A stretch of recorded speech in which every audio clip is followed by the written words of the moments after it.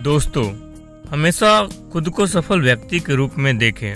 उस व्यक्ति की तरह सोचें, जिसकी तरह आप बनना चाहते हैं। हर दिन कुछ वक्त अकेले में बिताइए और आराम से स्थिर होकर बैठ जाएँ।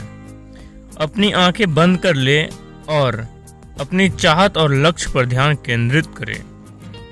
अपने आप को एक नए वातावरण में देखिए, जिसकी आप कल्पना करते हैं। खुद को योग्य समझिए और आत्मविश्वास से ओतप्रोत हो जाइए।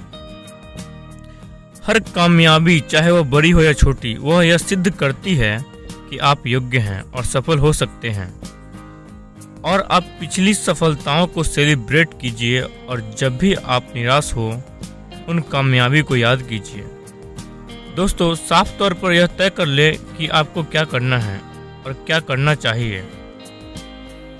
इस बात से हमेशा चौकन्ना रहिए और अपने लक्ष्य से कभी भ्रमित मत होइए।